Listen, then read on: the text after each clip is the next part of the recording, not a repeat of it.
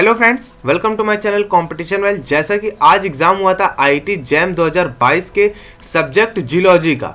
हाँ तो आज आई टी जैम 2022 के जो सब्जेक्ट जियोलॉजी का एग्ज़ाम हुआ था तो ये वीडियो जो है, उसी के सब्जेक्ट के 2022 में एक्सपेक्टेड कट ऑफ़ क्या जा सकती है, उसके बारे में है। तो हम आपको 2022 की एक्सपेक्टेड कट ऑफ़ बताने से पहले कुछ प्रीवियस ईयर की कट ऑफ्स के बारे में बता देते हैं कि प्रीवियस ईयर की कट ऑफ्स क्या गई हुई थी। तो सबसे पहले हम देख लेते हैं 2019 की तो 2019 में जनरल ईडब्ल्यूएस वालों की 35.07 गई थी ओबीसी वालों की 31.56 गई हुई थी और S C S T PWD वालों की 17.54 गई हुई थी। ऐसे ही 2020 में देख लेते हैं तो जनरल डब्ल्यू वालों की 53.01 गई हुई थी ओबीसी वालों की 47.71 गई थी और S C S T PWD वालों की 26.50 गई हुई थी।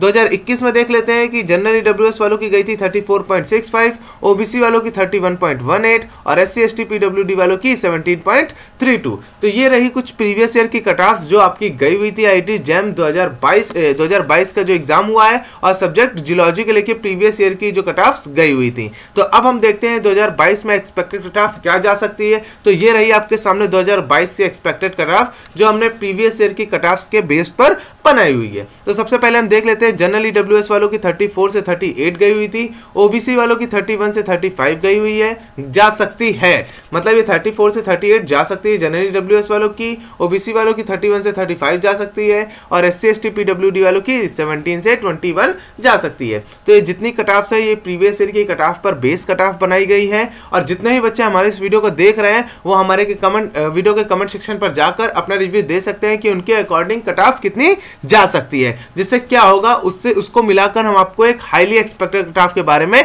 बता पाएँगे। तो ज़्यादा से ज़्यादा बच्चे मिलकर हमारे वीडियो के कमेंट सेक्शन पर जाकर अपना रिव्यू ज़रूर दें। और ऐसी वीडियो पाने के लिए हमारे चैनल कॉम्पिटिशन वेल को लाइक सब्सक्राइब और शेयर ज़रूर करें। Thank you